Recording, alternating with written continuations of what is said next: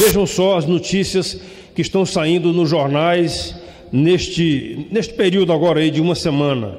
Notícias do G1 aqui, olha só. Yanomamis, 257 mil unidades de medicamentos jogados fora em 2023.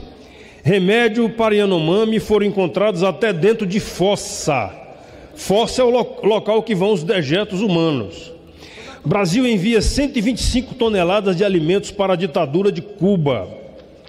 Enquanto isso, no Brasil, nós temos 21 milhões de pessoas que não têm o que comer todos os dias e 70 milhões em insegurança alimentar, dados da Organização das Nações Unidas.